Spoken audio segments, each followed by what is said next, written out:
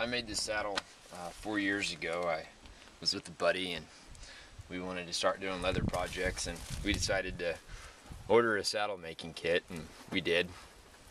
And um, it took me about six months or so to create it and I made a lot of mistakes. It was my first leather project, but it has about 5,000 miles or so on it and uh, it's treated me really well. It's gotten run over by a vehicle about 30 seconds ago and it's fallen off a cliff and gotten pretty abused and beat up and it just keeps going for me so it's uh, it's mine and there's probably nicer out there but it's my favorite This is our standard bit that we've been using, just our standard ring snaffle with a looped nylon rein and a mecate. It's kind of the standard for starting starting colts in.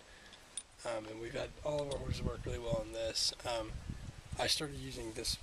It's like a shorter shank snaffle with a little cricket, or they call it a wishbone with this little tickler on it. Um, just for uh, I had a horse that was getting his tongue over this bit, um, and I need to just tie this bit up for that horse. But this works pretty well. He'll he'll he'll get his tongue over it, but not quite as easily. So that's the bits we're using.